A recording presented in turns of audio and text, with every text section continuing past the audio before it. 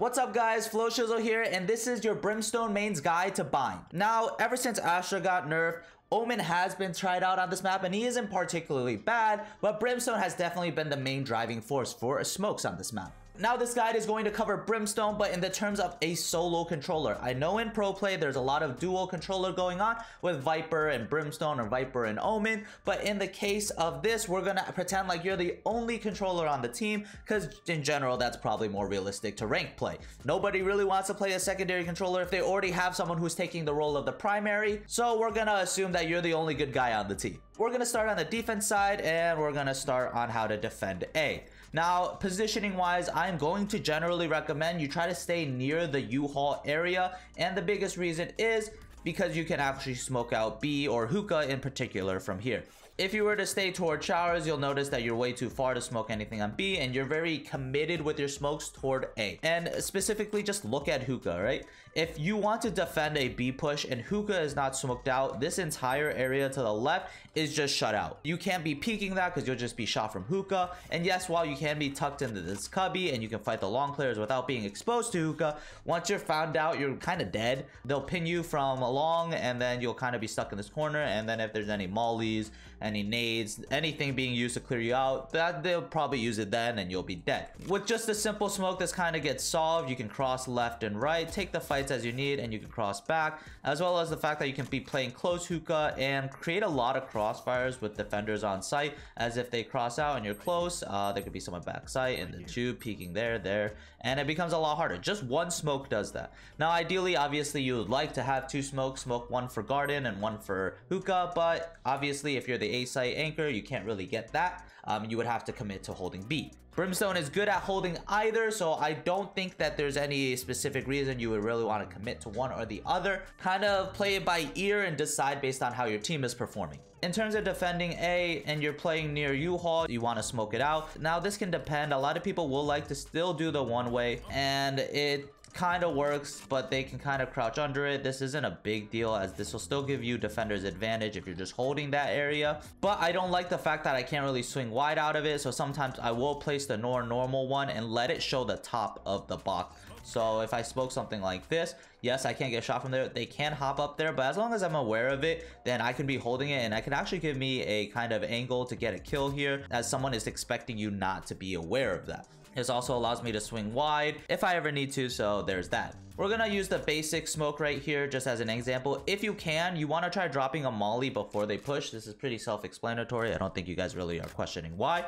But the idea is that if it separates it, you can kind of easily get the kills from the people who are running on top. Those are the only people that can really be peeking. That everyone behind the smoke is obviously going to be mollied out. And you can get a free kill that way. Stall the push if you can. The other thing is if you can't do that or you get beaten by a timing, for example, you're just not in position to do that, then you're really going to want to try your best to hold on to U-Haul. U-Haul is probably the most important part of holding A. If you hold U-Haul, your chances of retaking are actually quite high. So something like this is if you take like the initial fight and they've already crossed out, you can just bounce a molly off of this. This will shut down any potential U-Haul take and they are kind of limited to the amount of space they can really have after planting. So if you think about it, usually the smokes go something like this, right? If you hold Shower's presence, then the attackers only have usually up to this amount of control.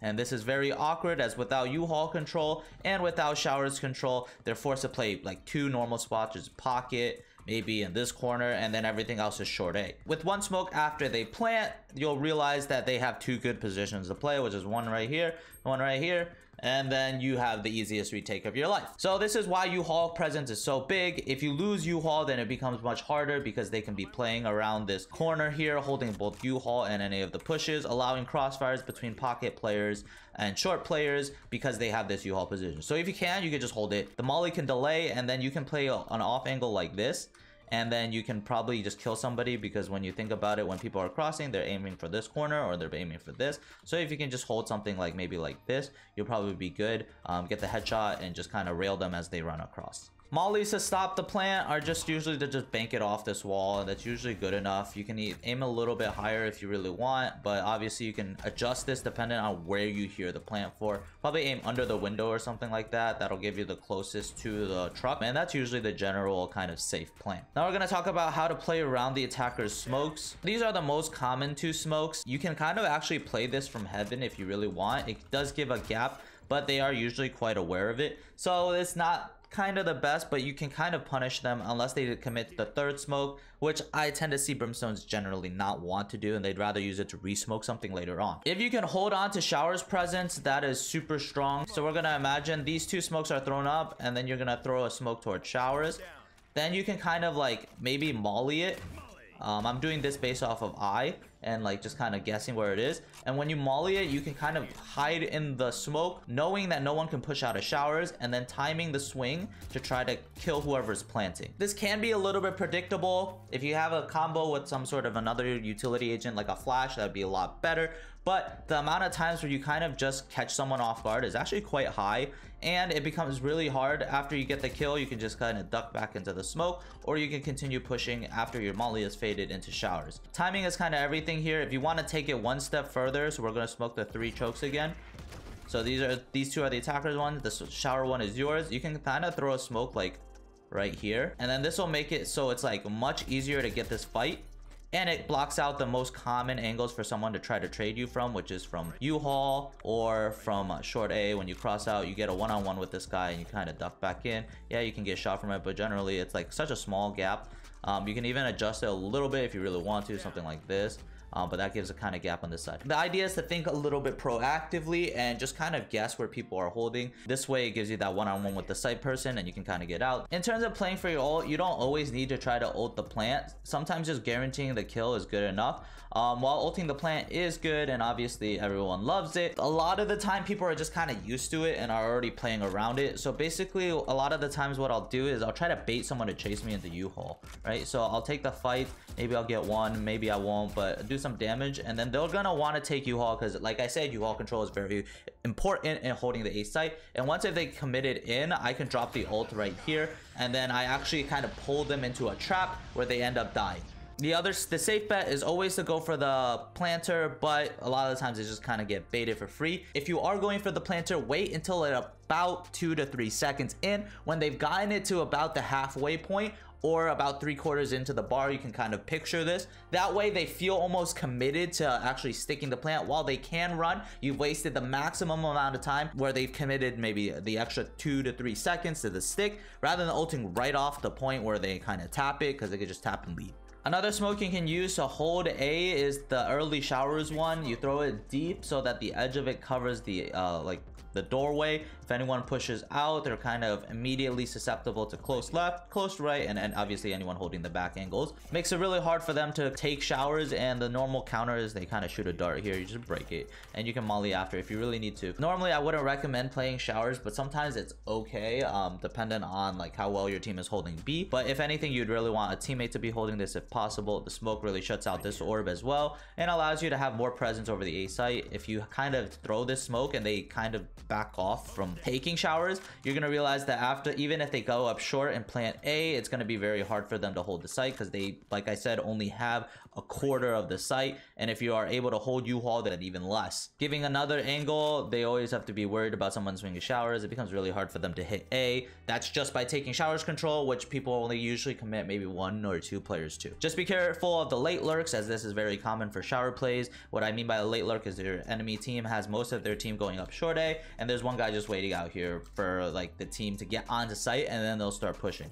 Uh, late lurks are strong because it catches you off guard where you're like thinking, oh, they're already on site, they're planting. They're probably not going to be someone coming up and your attention is almost solely focused toward where the spike is going down. And then you get caught blindsided, they retake shower and then it's a 5v4 and then it becomes a little more awkward. So yeah, as long as you're aware of that and you can understand the timings and you know check and then you know that you have a couple second window where you can't possibly get flanked and then you go take the fight A before checking showers again, you'll be okay. Hey guys, if you guys have watched this far into the video, I thank you so much. You've reached the secret middle point, the secret society where only cool people live. Comment down that you've reached this point below. I'll give you a personal shout out. And don't remember to like and subscribe. Now onto the video. Defending B is a little bit different. So you have like aggro positions where you can play. Guarding outside of hookah, you can just drop this one. This one's pretty simple. Obviously, everyone knows what this kind of does. Makes it really hard for anyone to push through, especially on those eco rounds where you have like a judge or something. This is perfect because they have to run through the smoke. They have to guess left or right. So it's a 50-50.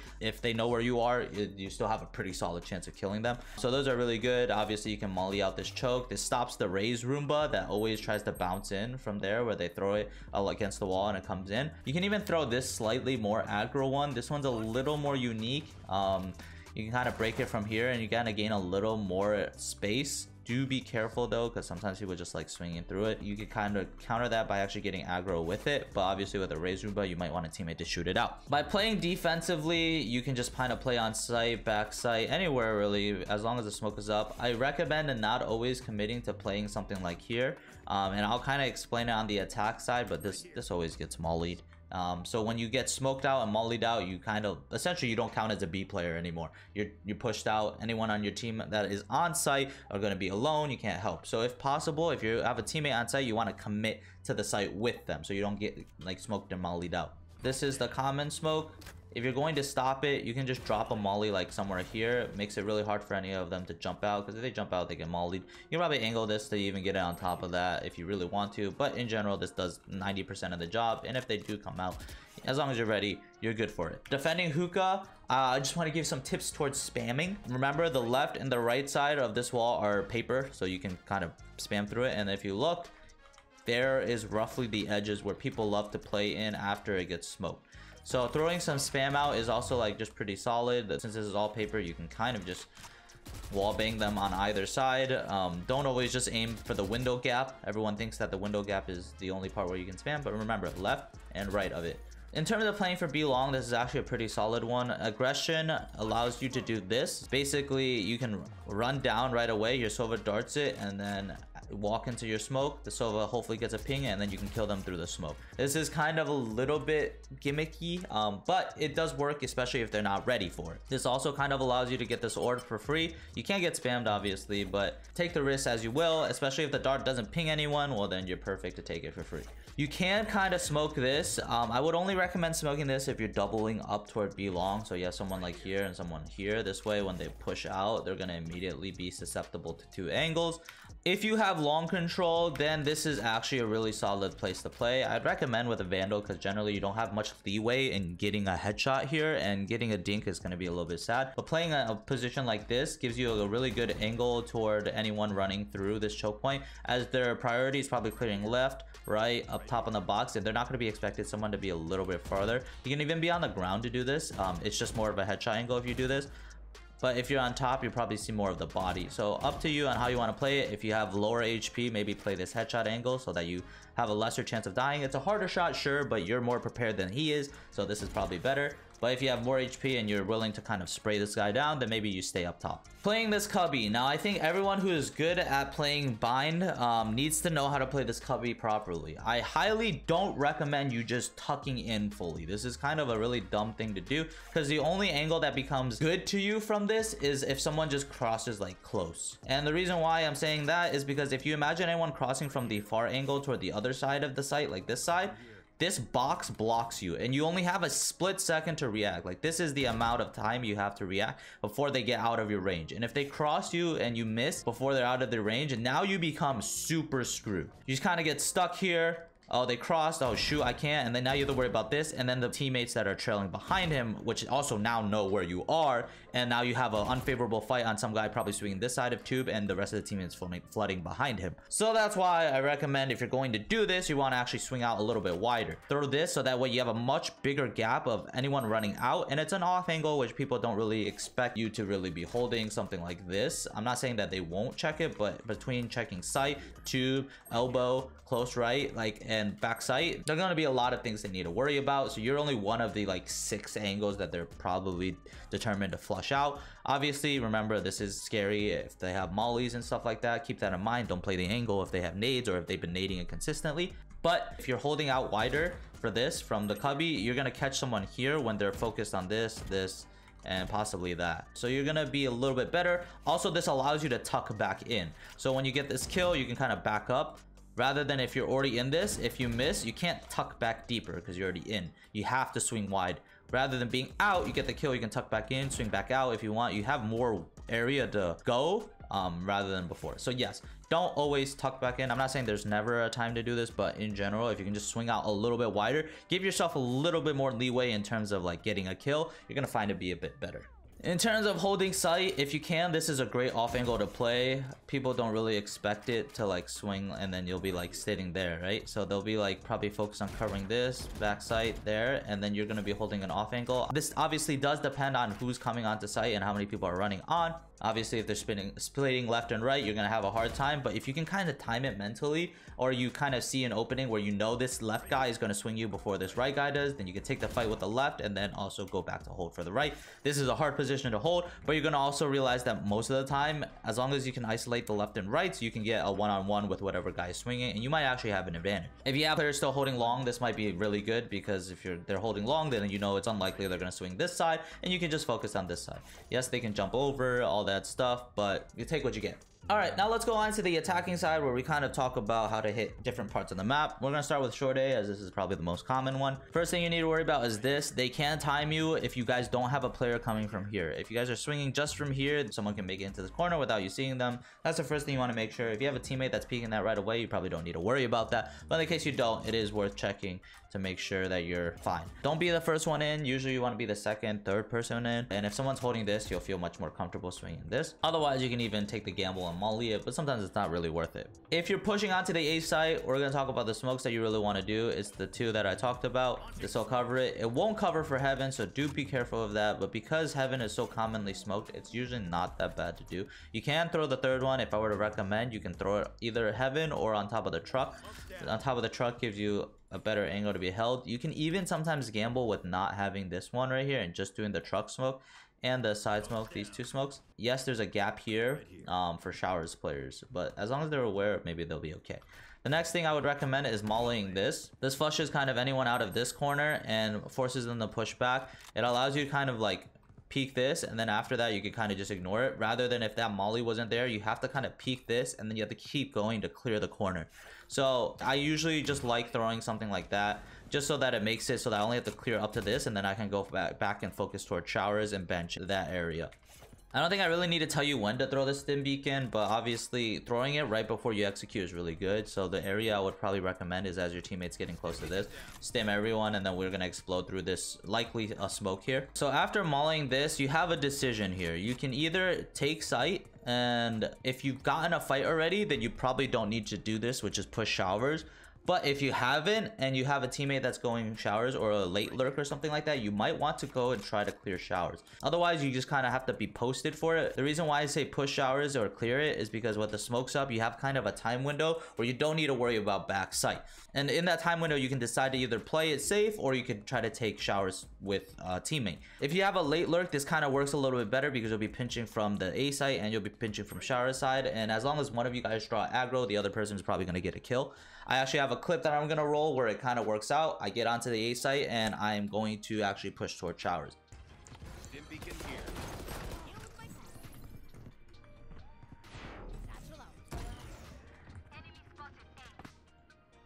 Two shower side, uh, two shower side. Yeah, short, short. Short one. But yeah, after clearing showers, this becomes uh, much easier for you on the post plant. Causes a really hard time for uh, defenders to really want to cross. Like they can't cross this way, they'll get shot from showers. So they'll probably need to smoke it out. They also need to worry about this eventually. Even if they get onto site, they're uh, still able to be pinched from the entirety of this half of the map. So that's why showers control is so big, on top of the fact that it makes for a safer plant. The next thing you can do is wait for the molly to, run out and then take U-Haul. So if you have a Jett dashing in or somebody going in to clear U-Haul fast, then you don't need to molly this. Obviously, you don't want to molly off your team. And if you do end up saving your molly, I would recommend trying to use it to like clear U-Haul. So this is a really good one because of the off angles I was talking about. The only one that he can really stand is probably like right here. Basically, I just bounce it off here. It doesn't have to be super exact, but it pushes them into a very awkward angle to defend. They can only be here, which is actually a relatively easy angle to clear. And then the other one is they have to be like deep here. And this is like a really awkward angle and also pretty easy because you're you're gonna be focused around this area. And once you take U-Haul, this becomes really easy. You double up with a teammate a lot of times. One person playing here, one person playing here. This guy can like bait or jiggle for you. And then that way, anyone in the corner will know, oh, is it coming in? And then they, it, it, it's a death trap. Pushing through this becomes a death trap. You have to win against this guy or you have to win against this guy. And likely you're probably gonna lose to either. Holding U-Haul is just very important. I want you to remember that if they ignore you U-Haul, you can wrap. And now you can kind of eventually catch a timing on the people defusing. If you don't ignore U-Haul, you have to kind of run through this death trap. Yes, they can wrap and they'll try to fight you here, but it's like now they have to guess between two angles as well as fight all the crossfires that are created from the U-Haul player. The last thing I want to talk about on the attack side is when you have Brim ult, I think A-site hits are very, very strong the moment you have Brim ult, and it's probably worth committing like an extra player or two toward uh, Showers or Bath area. Because if you take Showers control, your ult will definitely guarantee you U-Haul control, and then you're probably going to take the Cypher Freeze. Alright, so we're going to drop the two smokes that are normal for A-site.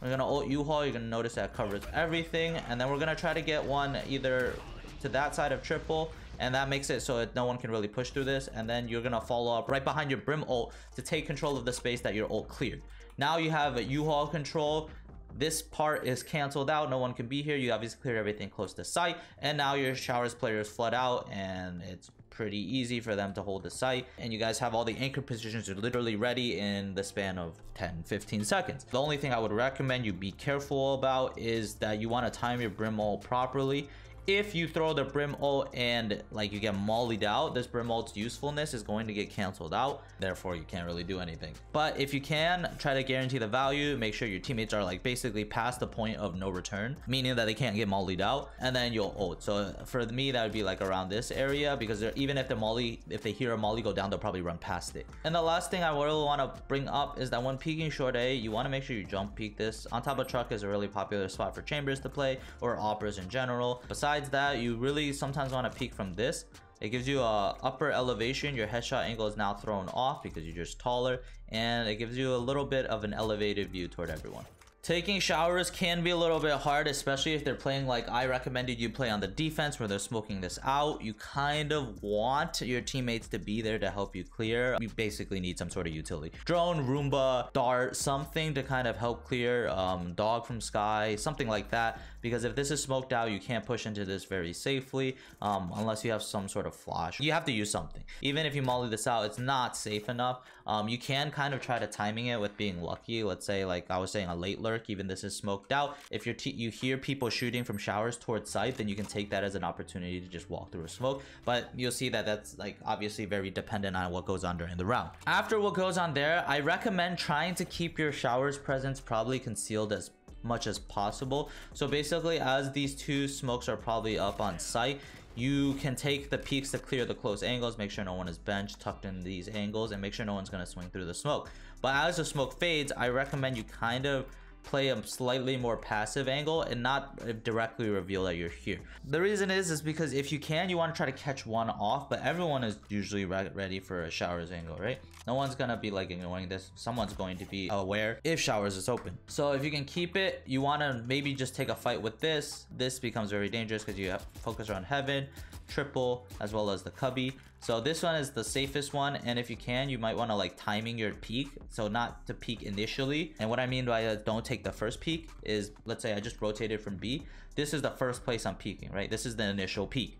after i hold for a while and no one peaks, then i'm gonna go for a secondary like and check the other angles because i'm assuming i held this for a while no one peeking I'm going to kind of assume that there's probably no one there or they're not, they're just not holding for me. So if you could time your peak off of like maybe some sort of contact, some sort of noise, he's starting to shoot and then swing makes a lot more sense. Also does a little bit better. Obviously playing too passive can also be bad because you just get smoked out. But in general, if you can kind of time it a little bit, make your decision making based off of some sort of logic, whether it be like, oh, I need to take this peek because, you know, nah, my teammate's stuck or something like that, you know, you'll find better success. The next is you can bounce the molly off this side. This is probably better because it forces people to really cross toward one side. I don't have a perfect molly for it, but this is really good to swing with because it's eliminated like half the angles and you don't need to worry about this one, which he's probably going to be moving from. I will say though, in general, don't have your brimstone really want to come out hookah because you want to guarantee that you survive until you get your smokes off. You kind of want to go in second. You kind of want to trade out whoever's going in first, whether it be a Raze or someone who has some like one of your entries. And then once you get into here, obviously your smokes will go up. And then the first place I'm going to recommend you molly is probably just the spawn smoke. It just has a lot of benefits pushing out any of the defenders that were either playing passive, like I said earlier, or any rotates in because bind has relatively quick rotates. And cutting off these rotates means that you've isolated the probably two players on site that you have to deal with and you'll probably just find it easier once you take site the retake becomes much harder. So guarantee that retake. Unless you have some sort of knowledge that they're somewhere on site but it would have to be somewhere actually good. So i would recommend the only one i would probably substitute this molly one for is this one or if we caught a timing. And what I mean by caught a timing is that I have a inkling that like no one's gonna rotate in time and that's because whether we you know lurked up and we just walked out all of a sudden we got a kill yeah they're probably not rotating from a that fast because they didn't expect us to be there. Otherwise i'm probably gonna go for this one because it's just safer but if you wanted to get the corner you can just bounce it off that and you'll be all set. For long you're gonna want to take a little bit more precaution and you want to like kind of jump peek this. Obviously operas so doing a jump peek is really good. If you're playing slow and you don't actually plan on hitting b in the early round throwing this one is also okay. It makes it really hard for anyone to really want to swing through this to try to fight for this. You get a free orb, um, which is nice, and then you get up close for free, making it really awkward for someone to be, maybe be sitting here because they just have to wait for the smoke to fade out. And then if you have multiple players here, you probably trade this guy out. Be careful of flashes. Flashes are super commonly played toward garden because of this entire lane. Um, one flash blinds everyone in the lane and they have nowhere to escape. You know, think about what happens. And I'm sure we've all experienced this at some point. Getting blind and turning, like you're not going to make it around this corner before you're dead. And especially the farther up you are, the more committed you are. After getting to this area and clearing out this, then it's pretty simple. You're going to want to throw the same normal two smokes. And in terms of how to molly it, I usually aim for this corner right here. You'll see like where this wall meets this wall, just somewhere like around this, and then it'll do essentially the same thing. It obviously isn't perfect, but since it does the same thing, I think it's fine. And it's really easy to throw on the fly, which means that you can act really fast. The other one you can throw is toward elbow. I don't like this one as much, although it can be okay. I'd rather focus toward elbow as I'm crossing at the site and my teams are like scaling up then focus towards spawn. Elbow's just so far that generally, unless they're already a B player, they're not going to be there. They would come through the spawn smoke before they come through this smoke. This box is always worth clearing, just spamming a little bit if you have the time. And then this close angle, obviously. After all the smokes are out, you want to try to clear this angle. Careful about this off angle because you'll see that this timing of me getting to this spot is the same time I'd be probably focused on this over this. This gives you kind of a nice uh, off angle to get a headshot on. In terms of the ult, the kind of gamble is between whether you play post plant or you play to take site. You're going to play it to take site, I would recommend you checking based on your prior knowledge from different rounds where people play. If they're elbow players, this one's really good. It's similar to the U-Haul one where if they're stuck in it, they have to, the fact that they have to wrap around this U shape means that they can't get out of this ult in time. But if they're not, they're just playing backside, this is perfectly fine. This will hit 90% of site combo this with a molly and then the, obviously the two smokes. The only place that you could really be playing is back here or he's gonna need to swing out and probably die. All right we're gonna talk a little bit about post plant. Since the site exec usually only takes two smokes you're gonna have one smoke to kind of re-smoke with this is going to de depend on where you're usually holding or where your teammates are. So for example if your teammates are in garden or like back here then in general you're going to want to smoke out spawn because there's more teammates that are holding the farther angles that even if this guy comes out elbow he has to focus on both the players that are on site as well as the players that are long. And that just means as long as you shut down this push then you'll be fine in the case that you have more players on site, this is usually when you have less numbers, then you're going to want to focus on the more likely outcome, which is that they just push through the spawn choke. And when you throw this one, now you can kind of pivot. And because you can spot elbow earlier, you can kind of just focus on fighting this. And then if you need to, you can kind of turn around. But obviously with lesser players, it's like less worrisome about holding different things. But with more players, you're probably going to want to smoke the one that gives them a better pinch. If it's like a one on X situation or you know they're not to the left side of elbow, then I would recommend taking this headshot angle or this off angle. This becomes really annoying for them to deal with because it's a small amount and they're also trying to clear this, this, this, this, right? Back here, back here. They see how all these angles that they're probably going to be worried about and then you're just little tip of your head it's going to be up here trying to get the headshot angle. It's really good especially if you have a vandal because it's just a one hit headshot as well as the fact that um, if you have low hp this is a good one to kind of catch someone off guard. If it's like a two on two situation this happens all the time because of the tps for example you it's like a two on two situation you guys were hitting a and then you realize last two are a or something like that and then you kind of run through the tp and you know that b is going to be clear because you knew that the last two were a. Instead of smoking it might be worth to actually hold this angle and be ready for someone to swing out because you want to get the first kill especially if it's like a 2 on 3 or 2 on x and you're down in numbers you would rather get the kill than just smoke it out because they're just going to wait the smoke out in the case that you do use your smoke. So getting the kill and then smoking it out is usually better. So doing this sometimes baits them into thinking oh no it's safe for them to peek and then you get that kill and then you move on uh, into the 2vx hopefully it's a better situation after that. All right let's talk about retake. In the case of retaking a the normal smoke is always the same. This one's the most important. Although i will say showers is also equally important. If you kept your molly sometimes it's worth to molly this um, just to make sure that no one can be swinging you. And then what, what happens is that likely they're probably going to be pushed off the angle and your teammates wrapping this side won't have to worry about showers and then they're going to cross and once they get close they can pick up the showers after the molly fade. If you're not going for that way and you want to take U-Haul, it is worth to try to just bounce a molly in here to clear the hard left and right. Um, uh, this one wasn't really that great, but if you just shoot one and it'll push it'll likely out just like yeah this wasn't even it was like a half-ass molly but it'll likely just push out someone that is already there. And if that's the case once you know your molly has cleared one side you can just hold it until your molly fades and then you just clear it yourself. You want to kind of slice the pie almost as much as possible here because there are so many off angles people like to play to hold this. And if you slice the pie slow enough you're gonna find that like oh we cleared everything. Okay and then after you get to this point you want to check for this top angle right here or this bottom angle. It's kind of a gamble, but I see most people holding from this because it's just safer. You think about it, you, you can't get shot from anywhere else. Um, rather than like this, which is just super in the open to everything else. So after holding the top, this is when you don't actually want to commit to a swing. Even though you've cleared this far, you want to take your time a little bit, let your teammates like work this. Because now you know that this spot is clear because you're holding it. And yes, they could be here, here, or like pretty much anywhere close. You want to time your swing so that your death has meaning or that you get more information. If you die here um, before your teammates are even ready to retake, that's bad. But imagine if your teammates are already like running, about to run onto site and then you like peek and then you die. Let's say you die to the pocket player, but now they're in a position to capitalize immediately because they'll hear this guy shooting at you and they'll just swing and kill him. So like you want to make sure that you're not just peeking just because you've cleared this far. That's like the first step, but getting into the position so that you can die for useful purposes. Uh, yeah, but basically the, where you want to worry about is here and here. Those are the two. And after that, once you clear those things, then you can kind of go to swing out this side, and then your teammates hopefully pinch this side. Make sure you might need a resmoke, yada yada yada. You're all good. Retake is also super strong with Brimble. It's the same thing essentially. You probably want to ult this. You can ult this, but in general, I think once you gain uh, U-Haul control, you're gonna find the retake becomes easier, and it's more of a guaranteed value rather than ulting like this. If like they just dodge it, you ulted nothing. If you ult U-Haul, at the very least, you know you gain U-Haul control. Retaking B, um, you can throw these two. These are the most common ones, but I'm actually going to one-up them. The one for Hookah and one for Garden is the common ones. I'm actually going to one-up it and just say that a lot of the times it's worth just smoking like this. Because the Hookah one's too deep that someone can still swing like this backside to fight you, right? But if you throw this, that becomes like a lot more awkward and you only have to focus on close right here in the tube. I mean, I'm saying this, but there's still a lot of angles.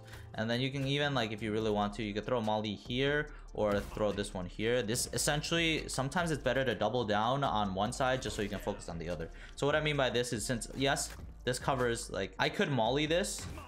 That's okay, right? That's great. It covers a lot of area. But the issue is I'm still going to need to turn my back at some point to clear this.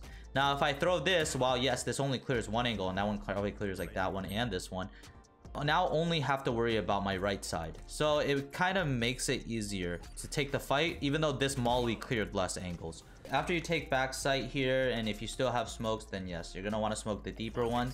Um, obviously, always worry about players that are elbow. Um, because if you don't come out of elbow, then you're, you're gonna need to worry about someone who is pushed up. If they're spamming or they're playing like this kind of like post plant, it's good to walk up into the smoke and try to get close because you might want to take the fight to them.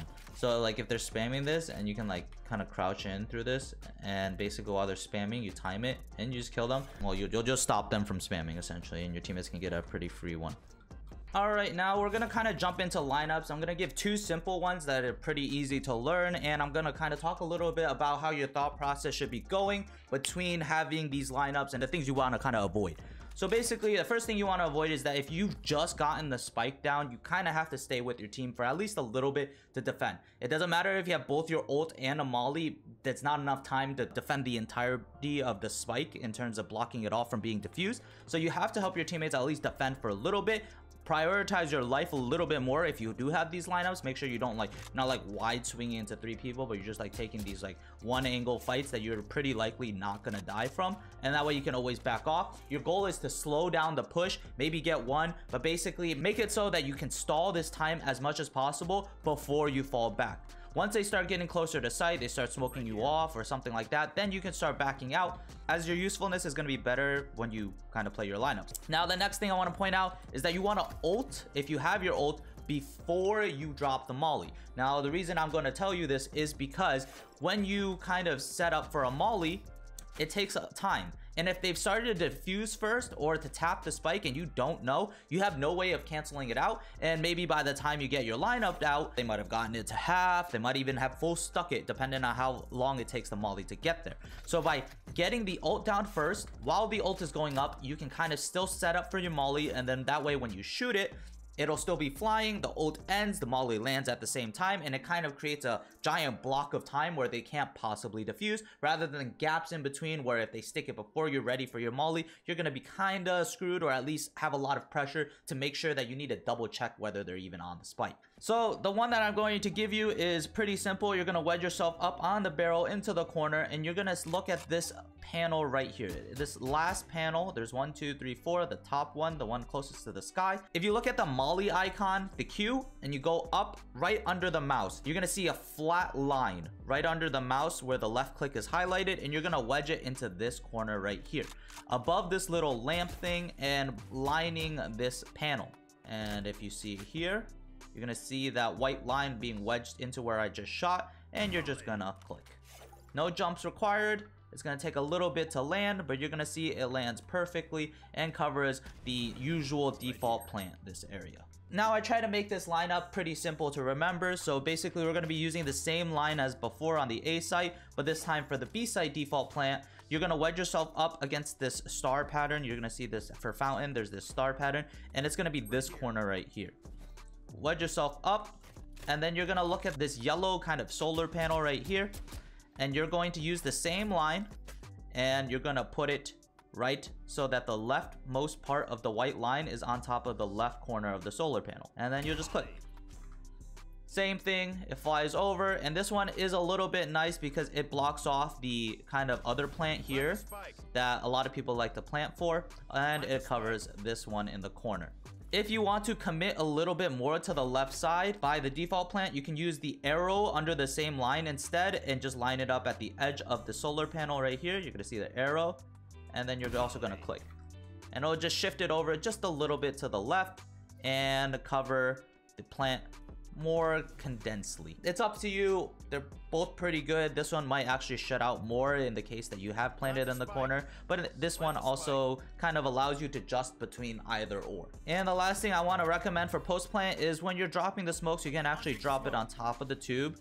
And that way, anyone who is diffusing in the corner actually has no vision yet you can see their feet under and it becomes a very easy kind of post plant hold. They're going to be especially in a one-on-one -on -one, this becomes very very hard and you can just kind of jump peek to see if they're sticking it. If you see their feet under then you can just swing out and spray. Some other things for bind is we want to talk about when you want to TP and that's when you find that you can't plant safely usually on the A site.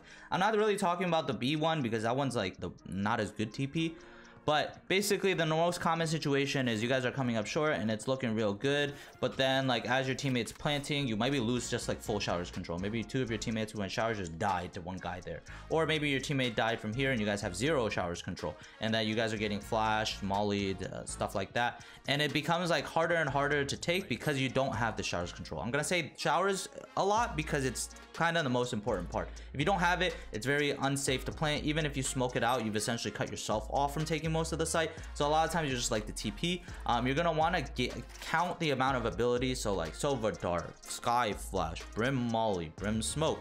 These are abilities that kind of tell you where or how many people are on the site. The closer range ones are obviously better. So like a Skye Flash is probably going to signify more than like a Brim or Omen Smoke because those can be thrown from far away. But you can kind of count them. And as you realize, if there's three, you can leave.